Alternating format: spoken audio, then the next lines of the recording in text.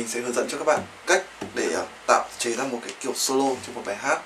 Thì uh, có rất nhiều bạn hỏi mình thì đã chế intro một bài hát đã khó rồi thì chế solo một bài hát còn khó nữa.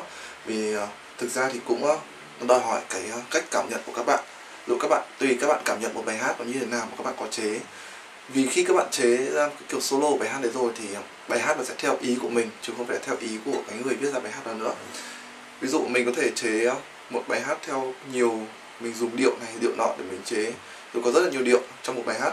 Thì mình có thể dùng điệu này cho bài hát này nhưng mình có thể dùng điệu khác. Để tùy theo tùy theo các bạn tùy theo cách cảm nhận của các bạn thôi. Đấy là thứ nhất về solo. Cái thứ hai về solo đó là uh, các bạn phải rất chắc về nhịp bởi vì uh, chơi bình thường mình chơi guitar bình thường mình đệm hát đã khó rồi uh, ờ, nhưng mà bảo để chắc về nhịp thì vì sao thế? Bởi vì khi mà các bạn vừa đệm các bạn lại vừa đánh được cả giai điệu của nó nữa thì và các bạn phải phải không cần các bạn phải am hiểu quá với nhạc lý đâu. Nhưng mà thể các bạn là phải chắc về nhịp và muốn chắc về nhịp thì thứ nhất là các bạn phải chơi được nhiều. Phải chơi rất trong một thời gian khá lâu rồi tầm 1 đến 2 năm hơn rồi. Thậm chí có những người chơi 5 6 năm rồi vẫn chưa cũng không solo được vì do cái cách định hướng của người ta.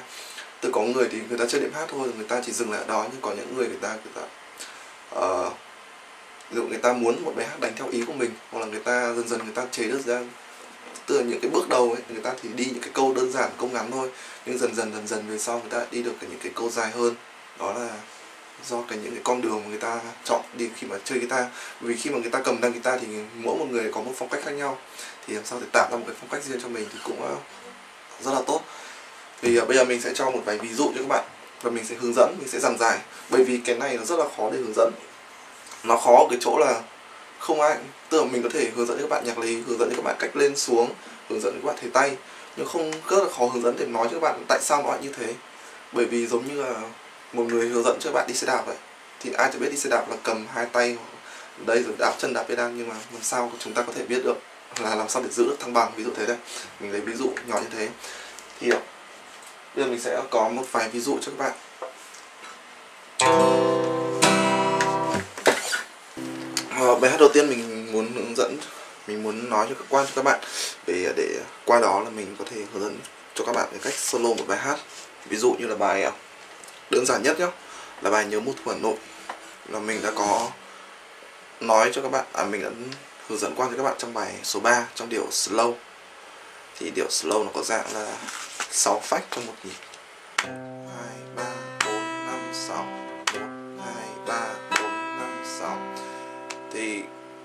nhịp mạnh của nó, nhịp chính của nó rơi vào phách thứ nhất. 2 3 4 và cái thứ tư. Tổng kết lại nhé 1 2 3 4 5 6 thì ờ, cái giai điệu thì việc đầu tiên của các bạn khi bắt một bài solo đó là các bạn phải đệm được cái bài đó đã. Tức là các bạn phải biết, phải đệm rất là thuần thục, rất là nhuyễn bài đó rồi thì các bạn mới có thể solo được một bài hát việc này rất là quan trọng vì nó đòi hỏi đến cách mà các bạn chơi gam với cách mà các bạn chọn ra một cái hợp âm chuẩn cho mình để chơi cái solo bài đó. Ví dụ cùng bài nhớ môn thu hà nội mình đang chơi ở tông đô trường. Nhưng mình cũng có thể chơi ở tông son trường hoặc la trường cũng được. Nhưng mà son trưởng la trường thì tới đây nó sẽ khó hơn một chút khi mà các bạn lên cao, ví dụ thế. Thì khi mà các bạn lên chơi những những cái giai điệu cao trên này này, thì các bạn sẽ thấy ờ, rất là khó để bắt vào những hợp âm như thế. Ví dụ son trưởng trên thể tay cao, ví dụ có những cái như này hoặc là la trưởng đây cũng là la trưởng thì đây là cái thứ nhất là các bạn phải thuộc một bài hát. Điều thứ hai, các bạn muốn chơi được solo là các bạn phải học thuộc hết các bạn phải biết được các thể tay chân cao. Cái này rất quan trọng, bởi vì các bạn không chơi được các thể tay chân cao thì các bạn sẽ suốt đời chỉ solo được ở dạng các dây dây trầm thôi. Ví dụ thế này.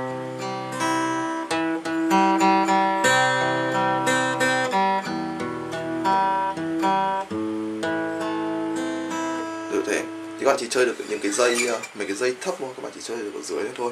Còn ví dụ mình muốn chơi chân cao nói khác, ví dụ thế này.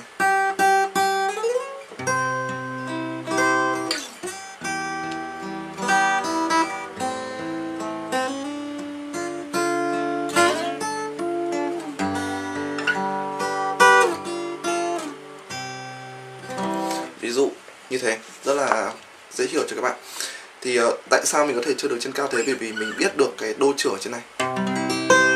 Đó và cái thứ hai là những cái hợp âm khác dụ như đô trưởng trên này. Thì mi thứ thì những cái chùm đô trưởng ấy nó có những hợp âm như sau. Các bạn phải thuộc được cái chùm hợp âm của cái đó. Ví dụ như đô trưởng chùm trong đô trưởng thì còn những hợp âm nào nữa? Đô trưởng son trưởng la thứ mi thứ fa. Thì có hợp âm rê thẳng có rê thì uh, các bạn phải biết được những hợp âm trong cái chùm đó ở trên cao đó là cái rất là quan trọng.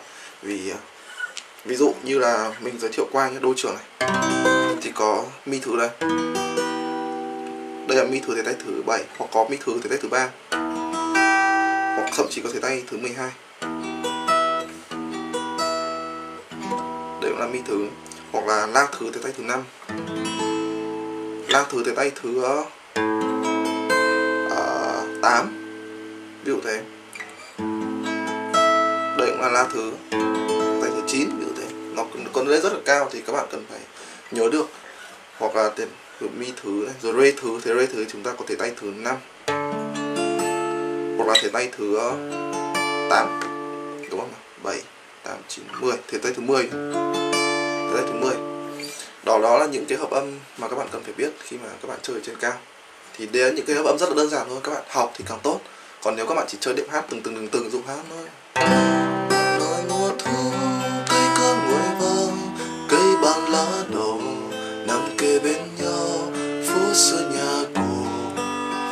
Rất là đơn giản thôi, nhưng các bạn chế được những câu này vào.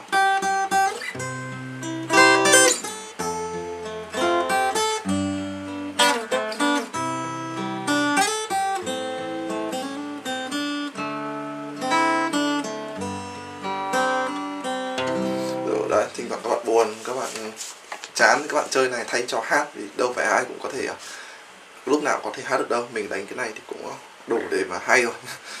Thế đó là cái những cái cơ bản. Mình vừa nói là thứ cái thứ ba, có cái thứ tư các bạn cần phải biết, đó là các bạn cần phải bắt được cái giai điệu đó trong cái hợp âm. Ví dụ mình chơi đô trưởng nhá.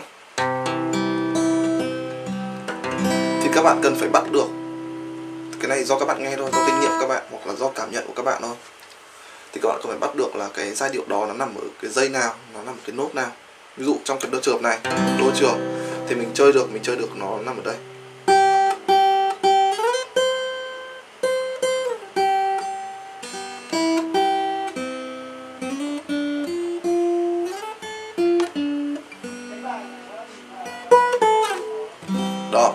Bạn chơi được thì các bạn biết là son son son đô đô đô son son. Rồi. Đấy các bạn bắt được cái đấy rất, rất là quan trọng cho các bạn. Nó không chỉ quan trọng cho các bạn chơi solo mà nó còn quan trọng cho việc bắt được cái cái tông chuẩn cho ca sĩ vào hát nữa. Ví dụ mình chơi này. Độ ca sĩ gặp phải ca sĩ mà còn non thì ca sĩ sẽ không biết được vào tổng tông nào thì ca sĩ cần phải bạn để dạo trước một cái câu. Ví dụ thế. Thì ca sĩ nghe được tưng tưng tưng tưng, thì ca sĩ bắt đầu hát được, Hà Nội mùa thu cây cơm nguội vàng. Đó là ví dụ như thế. Thì ờ, mình đấy, qua bốn cái, nếu các bạn tập được cái đấy thì các bạn có thể bắt đầu các bạn có thể bắt đầu solo được rồi. Ví dụ như là, bây giờ nhá, các bạn, vì sao mình phải nói chắc về nhịp? Bởi vì các bạn cần phải biết nhịp chính nó rơi vào đâu trong cái giai điệu đó. Ví dụ các bạn chơi giai điệu.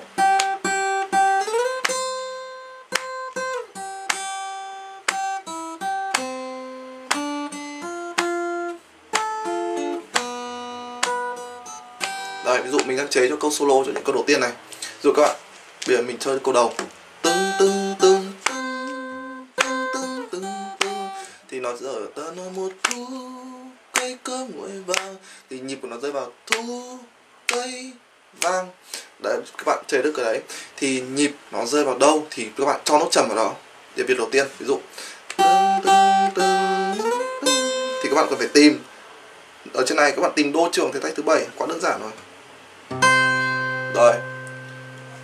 Sau đó cây thu cây cơm nguội vàng cây cơm nguội vàng thì các bạn nhìn cái hợp âm của nó là nó nằm ở mi thứ. Ví dụ thu cây cơm nguội vàng. Thì chữ vàng nó là một mi thứ. Thì nốt trầm mi thứ nó sẽ rơi mi. Các bạn phải đi được, được từ dây mì dây, dây trầm trước đã thì các bạn mới chơi solo được. Vì mình kết hợp cả hai câu đó nhá mà mình không tỉa các nốt còn lại mình chỉ, chỉ đi dây trầm thôi.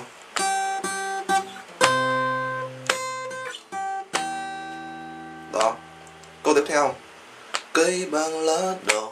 Chữ đỏ nó rơi vào nhịp. Và chữ đỏ đồng thời vừa rơi vào nhịp nó lại rơi vào hợp âm la thứ. Nằm kê bên nhau chữ nhau là và rơi vào nhịp. Chữ và nhịp của nó lại rơi vào cái hợp âm rê thứ. Bây giờ mình sẽ chơi la thứ và rê thứ. Thì bass của âm cái dây trầm của a la thứ là dây la rê thứ là dây rê. Thì uh, có một quy tắc là dây hợp âm tên là gì thì dây trầm của nó rơi vào cái tên của nó. Ví dụ gặp lại. Đô. Mi. La. Rê cái là son. Đó, các bạn dần dần các bạn đi từ những cái những đơn giản nhất như thế rồi các bạn bắt đầu chế. Bây giờ bây giờ, khi mà các bạn thuộc được những cái nốt trầm đó rồi, thì các bạn bắt đầu chế vào những cái đoạn khoảng không ở giữa ấy từ những cái tưng tưng tưng tưng tưng tưng. Rồi hà nội mùa thu cây thì giữa chữ thu và chữ cây có một khoảng trống. Thì các bạn chèn vào giữa khoảng trống đấy là những cái nốt tỉa trong cái hợp âm đó. Tỉa các bạn không cần phải tỉa đâu ra là tỉa trong đúng hợp âm đó. Ví dụ mình chơi đô trưởng thì tay thứ thứ bảy thứ tám thứ tám này. Thì các bạn tỉa những cái nốt trong cái đó. Và các bạn tỉa không cần đâu xa các bạn tỉa khoảng tầm trong 3 giây này thôi. Trong ba cái dây re son si thôi là các bạn chơi được hết. Và tỉa ví dụ thế này nhá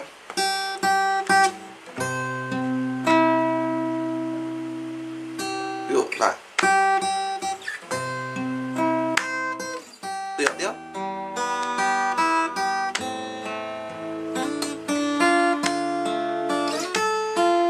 Tiểu xong son.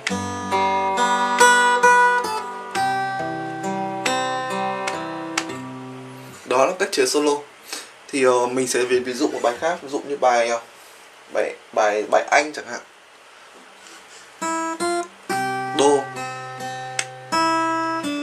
Son la giờ la thử từ cách thứ năm mà mình vừa nói cho các bạn đấy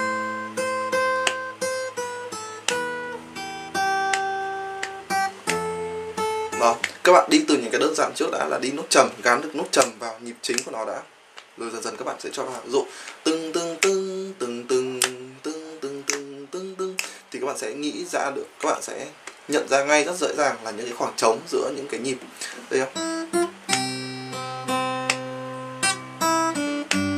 Em vẫn đến dù trời, chữ, giữa chữ trời và giữa chữ mà mưa răng khắp lối các thứ đấy, thì nó sẽ có những khoảng trống và các bạn cho, các bạn kèm những cái dây dây ờ, dưới này vào. Được dụ thế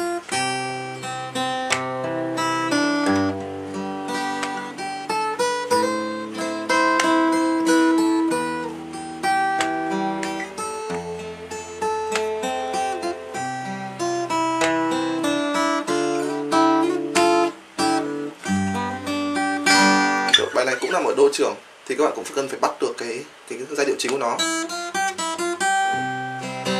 Ví dụ thế. Ví dụ, có, ví dụ bây giờ có người bảo là bài này đánh ở son son son trưởng đi. Ví dụ thế này. Son trưởng của âm của nó đây. Đây. Bây giờ mình lại phải bắt được là cái giai điệu câu đầu tiên của nó như thế nào đã. Tự, trong trường hợp này.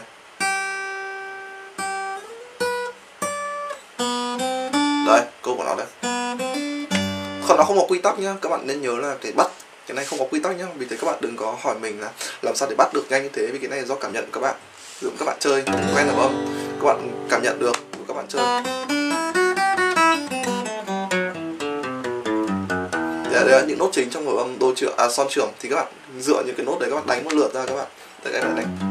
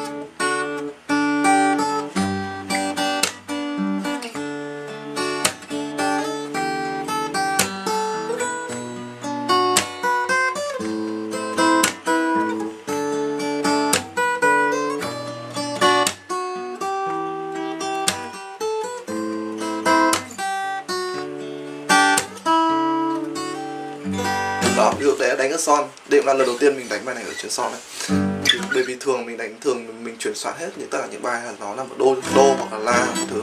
Chữ son nó hơi khó một chút thì mình nhưng các bạn chỉ cần các bạn quen tay các bạn đánh được các bạn quen các bạn đánh được uh, cái cái những cái câu đầu tiên các bạn nắm được cái giai điệu của nó là các bạn sẽ chơi được hết. Bây mình cho một vài ví dụ nhé để về cái lý thuyết chỉ có thế thôi. Ví dụ như bài nếu như anh đến chẳng hạn đoạn intro nó đấy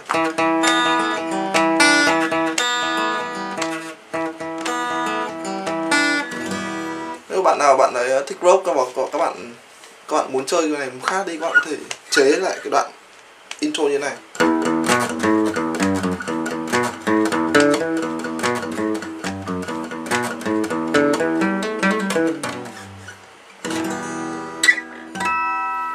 Lăn tóc rối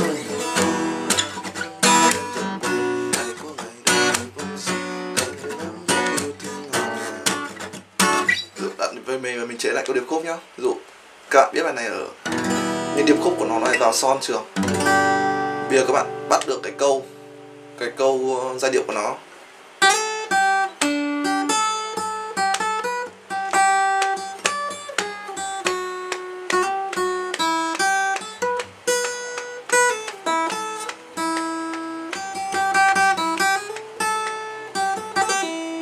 Đó đó là câu giai điệu mình mình bắt nhanh vì và mình chơi lâu rồi.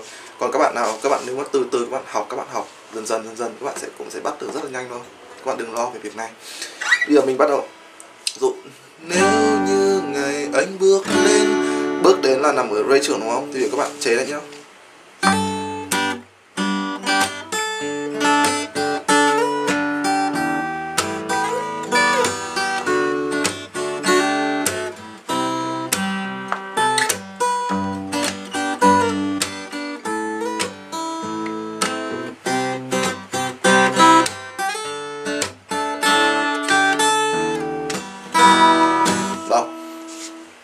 Nắm được cái không nếu như ngày anh bước đến vì anh đã yêu thương em thì mình chơi cũng giống như thế thôi. Đủ này.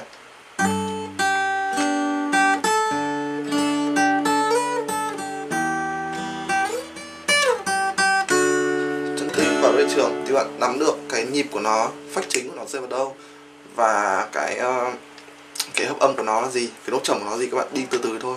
Còn cái điệu đập đập đập đập, đập, này thì các bạn cứ mình cũng dẫn- dẫn qua cho các bạn rồi cái điệu cái điệu uh, ờ, slow surf rock ballad cái gì nhá? Rock surf rock ấy. thì cứ nói như này.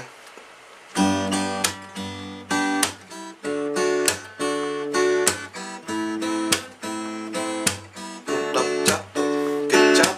Cái này các bạn có thể xem lại ở bài số 12 sao. Mình có hướng dẫn qua cái điệu cái điệu này cho các bạn. Thì các bạn kết hợp cái điệu này với các giai điệu nhá.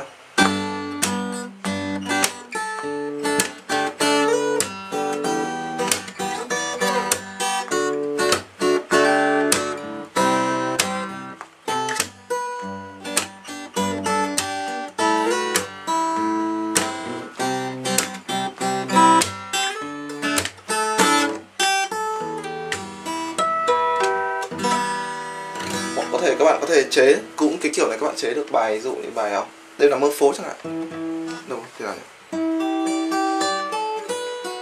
hoặc là bài uh, Hà Nội mùa này vào những cơn mưa. ấy.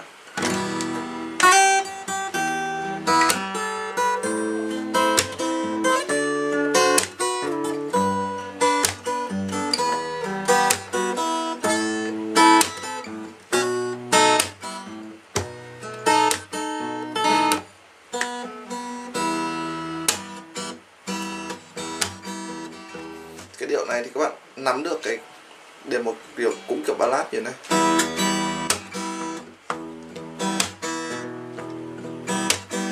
Mình chậm cho các bạn nhé hoặc là mình sẽ dạy các bạn cái điệu này vào một buổi khác. Còn à, các bạn có thể kết hợp đấy vào cái kiểu đập vào thùng đàn ví dụ thế. Ví dụ trong bài Sunflower ấy.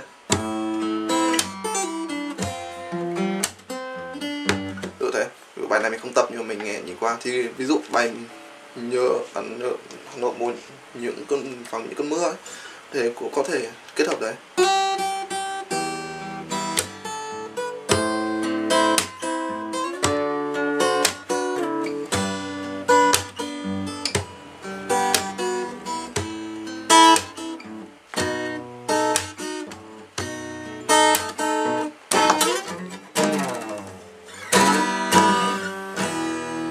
Đó, tất cả mình muốn dạy cho các bạn về cái cách tạo intro.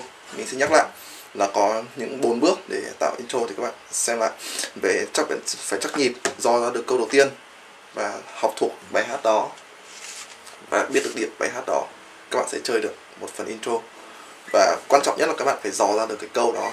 Các bạn phải đi từ từ, từng bước một, là từ những cái bước dụ. Chỉ kết hợp giai điệu với cả nốt trầm các bạn thành công. Và hẹn gặp lại các bạn vào những buổi sau.